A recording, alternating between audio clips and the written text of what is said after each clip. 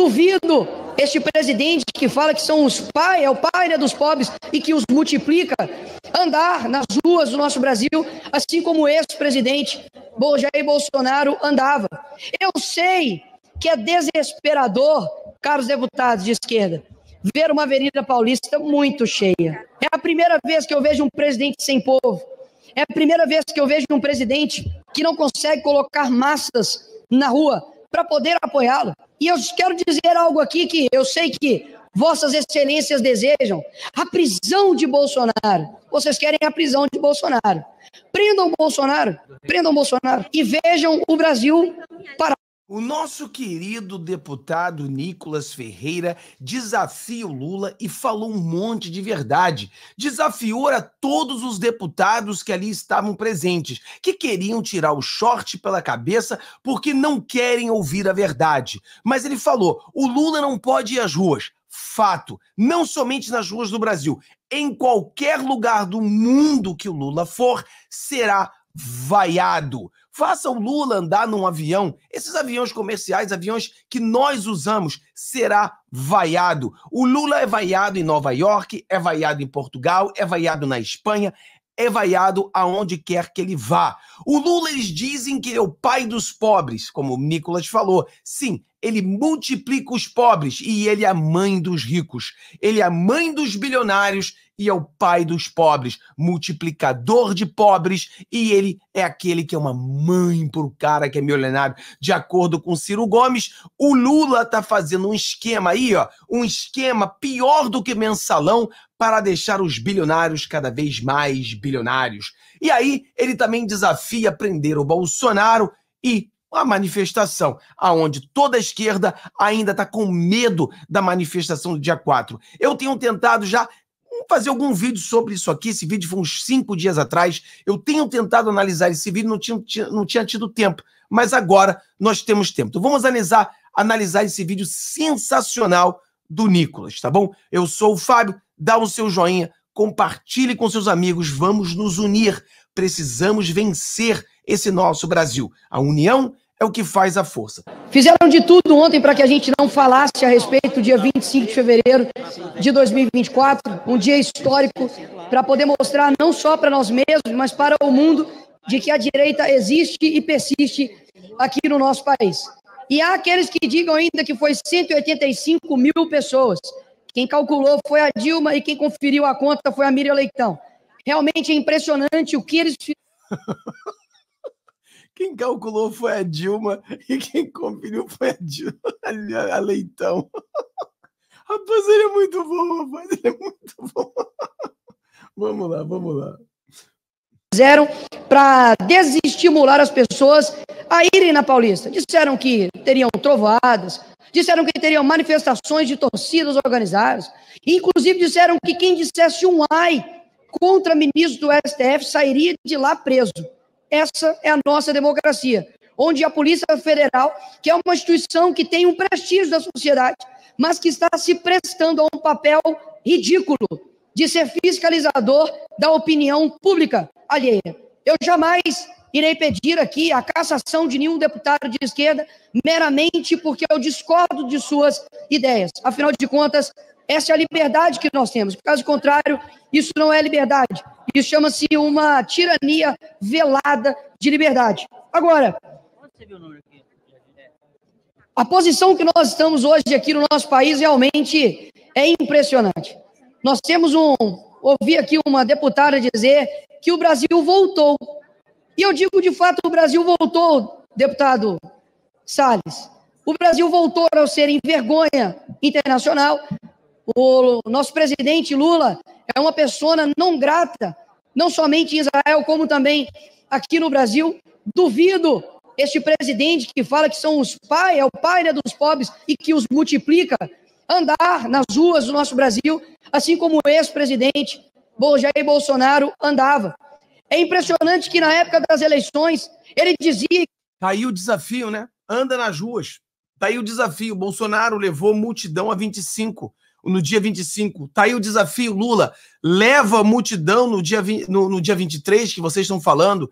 Tá aí o desafio. Cadê o povo do Lula. A grande verdade é que esse sentimento antipetista começa a levantar novamente. E até a Globo começa a criticar o Lula. Vamos lá, dá pau neles, Nicola, pau neles. Quero recordar aqui ao povo brasileiro de que somente com uma cervejinha ele resolveria a guerra da Ucrânia e da Rússia. E agora, simplesmente, ele se mostra um inepto, uma pessoa incapaz de, de fato, solucionar os problemas tanto lá de fora e muito menos aqui de dentro. Pela primeira vez, nós tivemos fuga de presidiários de segurança máxima. Afinal de contas, tiveram um belo exemplo também de um ladrão sair ali de Curitiba, onde nunca deveria ter saído. Nós temos também o recorde de queimadas da Amazônia. Está aqui ministro, ex-ministro Salles, que tomou pancadas de tudo quanto é lugar, assim também como o Bolsonaro. E hoje, os artistas, os deputados aqui de esquerda, que os vejo aqui, estão simplesmente calados, em silêncio. Até mesmo porque bateu o recorde do recorde. Tinha batido o recorde de fevereiro e do ano passado e agora bateu mais um recorde. Mais de 3 mil queimadas na Amazônia. Mas não é somente esses recordes que o nosso presidente Lula atinge. Ele também atinge também o recorde de mortes do então genocida Bolsonaro, como eles, eles gostavam de o acusar, da morte dos Yanomamis. Hoje já ultrapassou a marca do então último ano de Jair Bolsonaro. Exatamente. Então você tem é, mais morte dos índios do que Tino Bolsonaro. Eles levaram uma acusação ao Bolsonaro por genocídio. Agora nós estamos levando uma acusação ao Lula pelo genocídio. Ok, se Bolsonaro é acusado de genocídio, matou menos pessoas do que o Lula, imagina o Lula, né? Então, é exatamente isso. Então, eles estão numa trincheira, estão arrebentados, eles estão se escondendo. Cara, a esquerda some hoje, se esconde na lama onde eles sempre estiveram e nunca deveriam sair, né? Ou seja, nós estamos vendo um país que, infelizmente, dá caminhos, é, passos largos a, de fato, não uma ditadura, porque eu acredito que nós já estamos em uma. Afinal de contas, quando você percebe que os parlamentares, que são abarcados pela Constituição Federal, não podem chamar o presidente da República de ladrão. Caso contrário, é até retirado aqui as palavras do seu discurso, ou até mesmo recebem processos quanto a isso, assim como eu estou sofrendo processos por ter chamado Lula daquilo que de fato ele é. Então. Isso aí, pessoal, não foi só o Nicolas, não, tá? Várias pessoas receberam multas, vários youtubers foram. É, tiveram canais desmonetizados, canais derrubados, vídeos retirados, por a gente dizer o que é verdade. O Lula sempre foi amigo de Maduro, sempre foi amigo de ditadores. Agora o Lula é amigo do Hamas. Certamente, durante as das eleições agora, se a gente falar que Lula é amigo de Hamas, os canais vão cair também. Então você sabe que tem um lado, eles têm um lado. Continua, dá pau neles, Nicolas, pau neles. Senhores, nós abrimos aqui um pedido de impeachment é, para o Lula e quero lhe recordar aqui, trazer à memória algo que aconteceu não muito distante da nossa história. Quando foi protocolado o impeachment da Dilma aqui neste parlamento, Eduardo Cunha não tinha brigado ainda com o presidente da República. Então, Dilma, hoje nós, ao protocolar o pedido de impeachment, também não há nenhum atrito. Acredito aqui entre os poderes para ser colocado aqui o pedido de impeachment do presidente Lula. Eu não vou dizer que eu torço para a briga. Eu torço de fato para que esse país saia das mãos de poucas pessoas que envergonham o nosso Brasil verde e amarelo.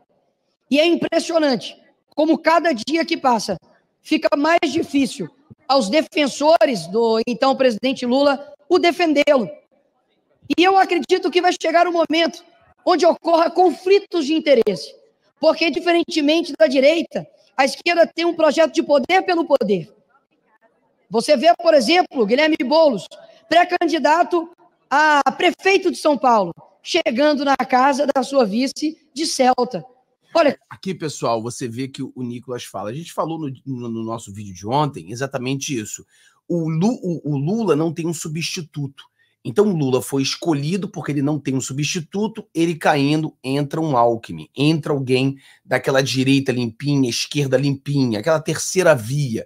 Por isso que você vê que a Globo começa a criticar o Lula. Ainda não está no nível de jornal nacional e fantástico, mas já está no nível de Globo News. Então já começam essa crítica ao Lula. O impeachment, muito bem como ele falou, o impeachment é muito bom que a gente tenha 140 assinaturas, é muito bom que a gente peça o impeachment. Não, não... Ah, Fábio, mas ele não vai ser impeachmentado. Não vai ser impeachmentado agora, mas não quer dizer que não tenha nenhum efeito. O impeachment traz muito efeito esse pedido de impeachment. Não pode ser que ele não caia agora. A Dilma não caiu com o primeiro pedido de impeachment. A Dilma, se eu não me engano, foram 61 pedidos, mas foi crescendo, uma bola de neve. O dia 25 é uma bola de neve que pode continuar crescendo. E aí as pessoas tendo esse sentimento antipetismo, aquela corrupção voltando e as pessoas indignadas com a corrupção vão às ruas e o impeachment possa acontecer. Parabéns, o querido Nicolas. Vai, continua lá, querido.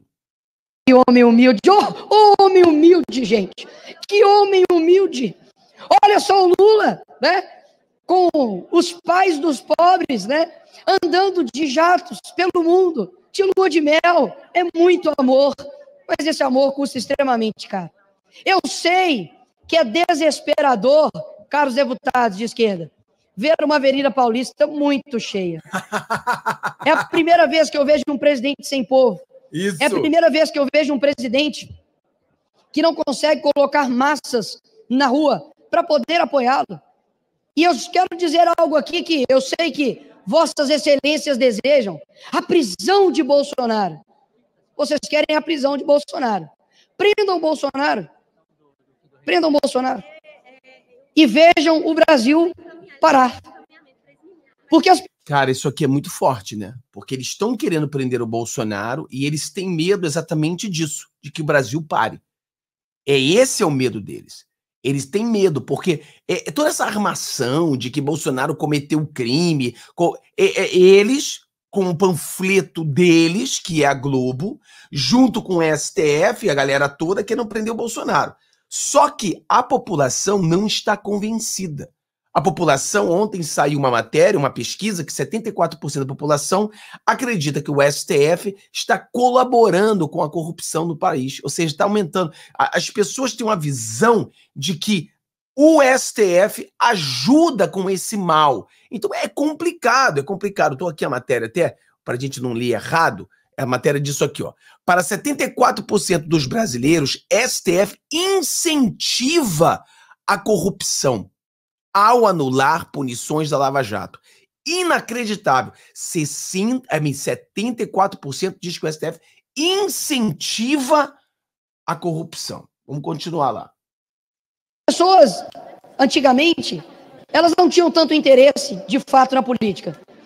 Mas se há um homem que mudou essa ótica das pessoas, foi Jair Bolsonaro. E quando fala-se o nome deste homem aqui, é impressionante. Parece que os ouvidos da esquerda não conseguem ouvir a palavra Jair Bolsonaro, causam arrepios. E eles são tão democráticos, são tão republicanos, que eles querem simplesmente colocar todos os seus opositores atrás das grades. Agora eu quero dizer para vocês: as pessoas estão vendo isso.